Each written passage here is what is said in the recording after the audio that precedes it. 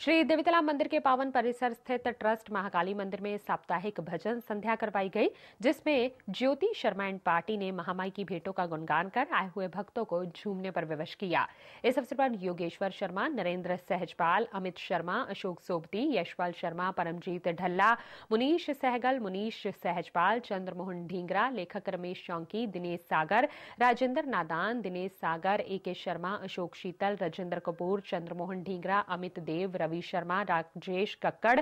राकेश गायक राजकुमार सहगल यश प्रभाकर महंत किशनलाल कृष्णदेव शर्मा बलविंदर बिंदरी प्रदीप पुजारी राजेश शर्मा मनमोहन बब्बू ने आई हुई पार्टियों को मां की चुनरी देकर सम्मानित भी किया